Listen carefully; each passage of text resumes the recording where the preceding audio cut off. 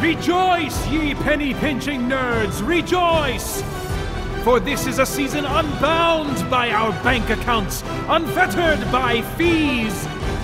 A legendary age of liberty. This is the summer of free!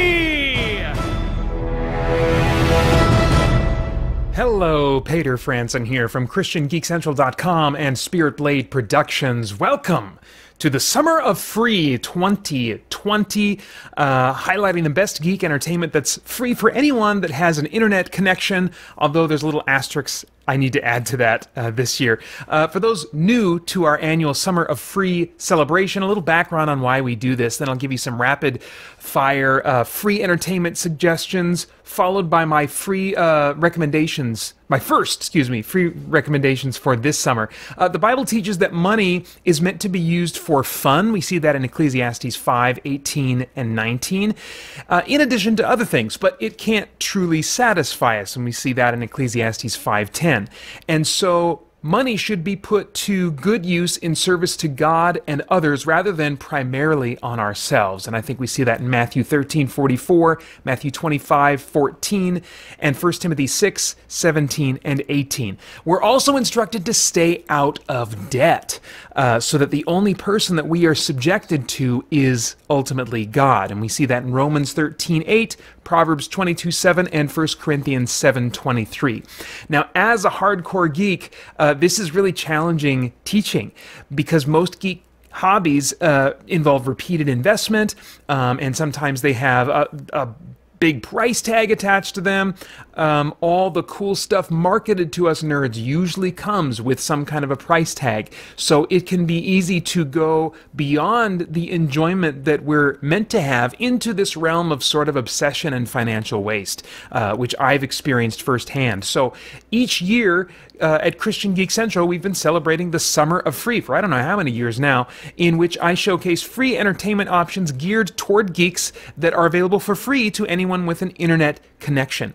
Uh, now, this year, that asterisk that I mentioned earlier is that um, I'm going to be in each installment, after I give you some resources that are just, you know, good in general to check out, each installment of the Summer of Free this year is going to feature at least one movie that you can watch for free if you have an internet connection, and also, you know, one that I'll focus on, and maybe one or two others that are just kind of really quick recommendations that I won't speak in as much detail about.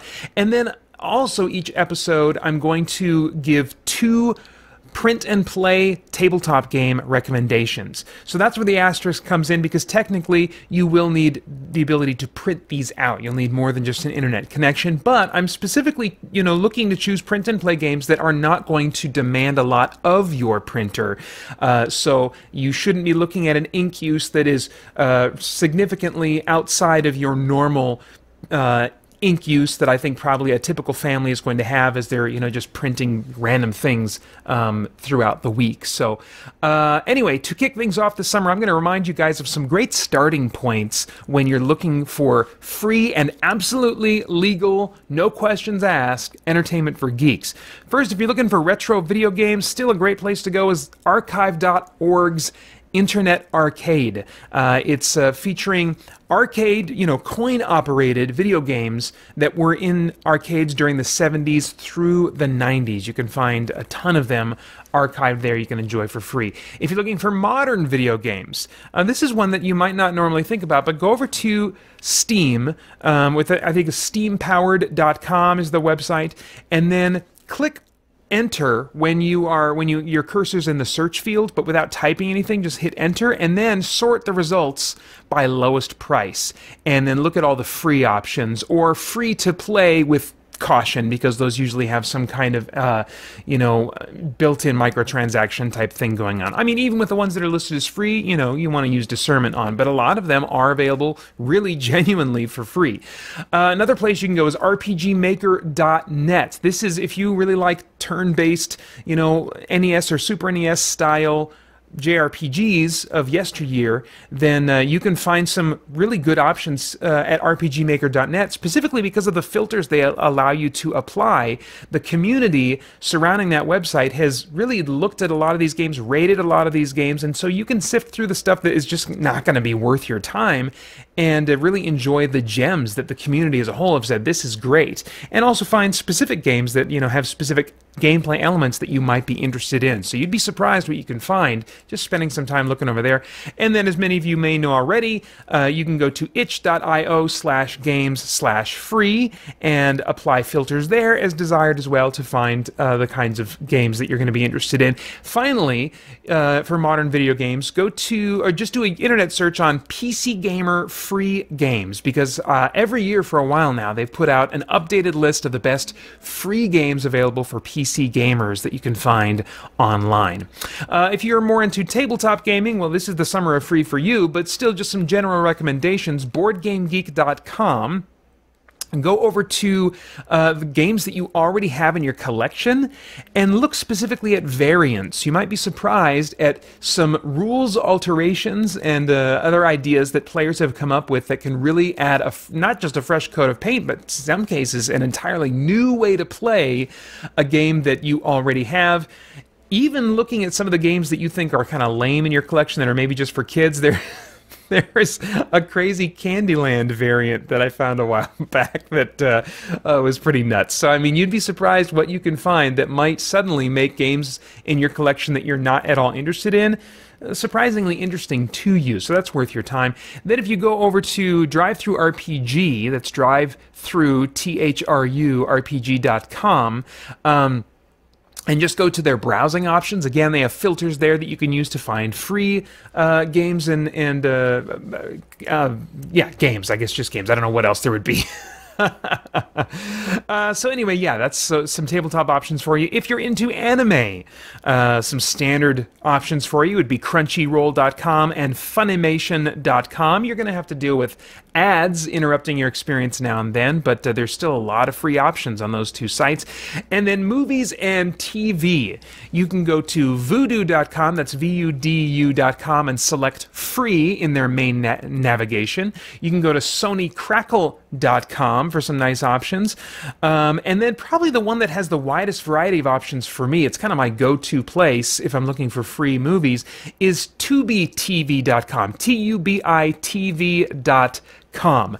Uh, and then finally, a new resource to me is imdb.com. They're kind of trying to get into the streaming content game and uh, are offering a lot of free options as they do that. So, imdb.com is where you just look for IMDb TV once you get over there, uh, and you can find a number of options for you. And now, for 2020's first summer of free recommendations. First up, uh, the movie I'm going to recommend this time is American Hero, which you can watch over at SonyCrackle.com. Uh, the description for that one reads Despite having superpowers, Melvin only lives for women, drugs, and crime.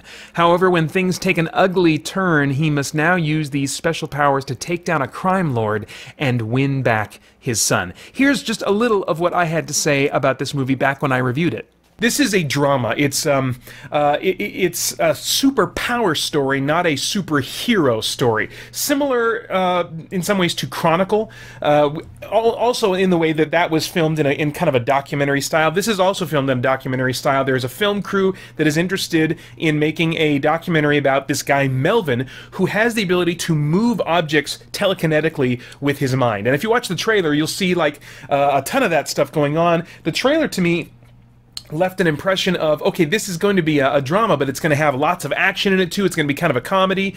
Um, it's much more of a drama than it is an action comedy. So if you watch the trailer uh, don't go in with expectations of independent you know sci-fi action comedy or something. This is much more of a uh, a, a quiet slice of life slice of life drama with a few bursts of action here and there.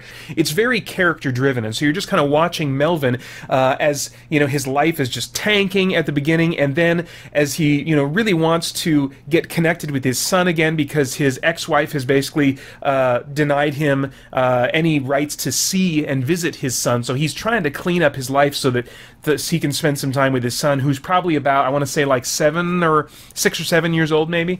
Um, and and so as a dad, I certainly connected to to that type of story. So I mean, if you're a sucker for father son stories, there's I think there's something in this for you.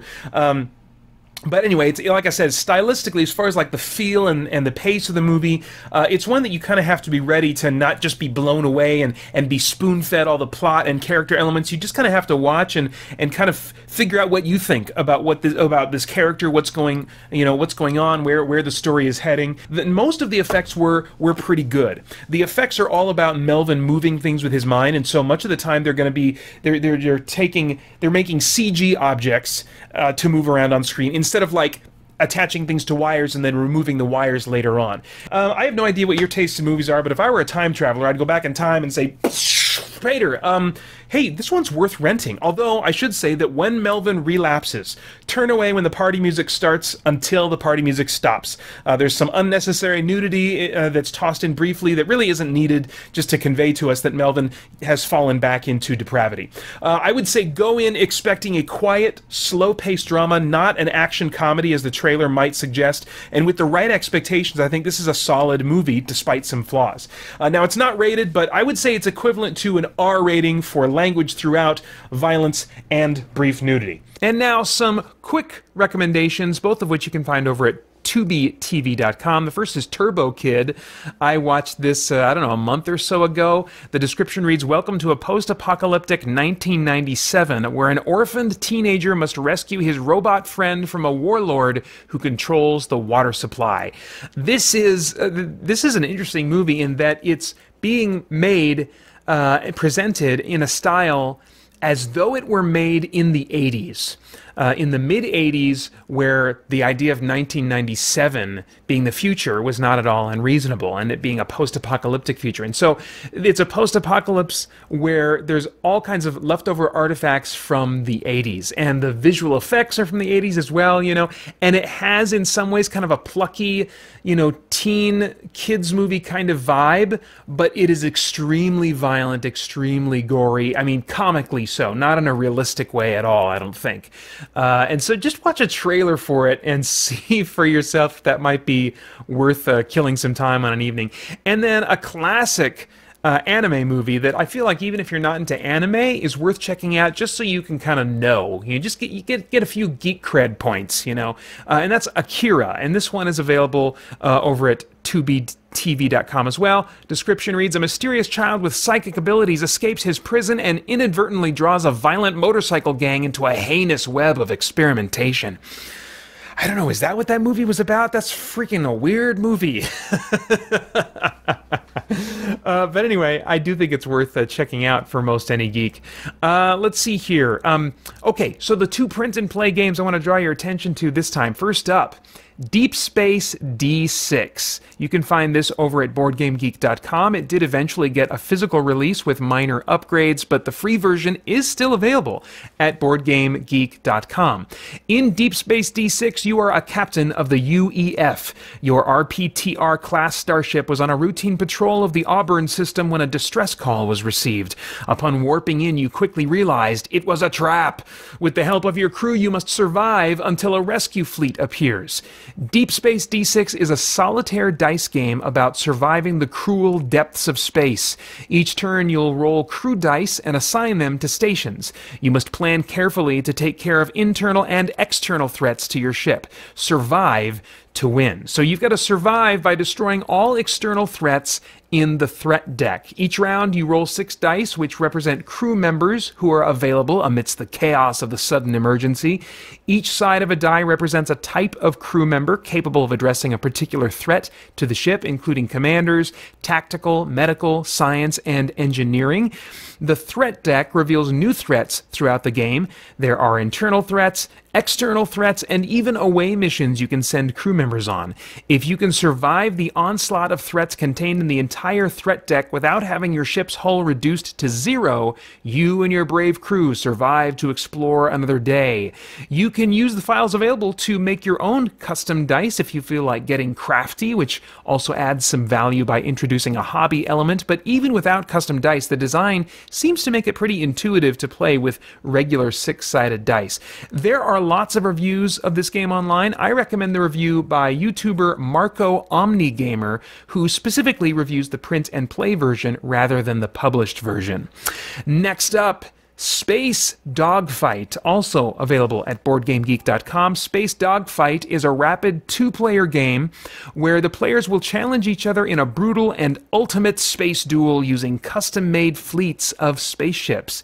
At the start of the game, each player secretly builds a fleet of ships using a point based system and choosing from four different ship types with various strengths in movement, attack, and defense. The players place their ships, alternating one at a time, into their starting zones before play begins and the ships advance and attack. Random elements at setup and during the game also bring asteroids into the mix that players must account for, so games can play out differently each time depending on fleet uh, build, ship placement, and asteroids. Play ends when one player destroys all opposing ships or one player gets all of his ships into the opposing player's starting zone. Players then add up the point value of their surviving ships and the highest total wins. If you want to add some hobby value and you have some poster board, you could make a giant version of the space dogfight play area, spend some time coloring it, and make your ship units out of Legos or finding uh, appropriate items in your geeky game and toy collections. Marco Omnigamer has also made a review for this game that I recommend checking out. All right, well, that's it. I'll be back in a few weeks with another set of Summer of Free entertainment suggestions. Be sure to subscribe and then click that bell so that you don't miss out. Thanks a lot. Bye bye.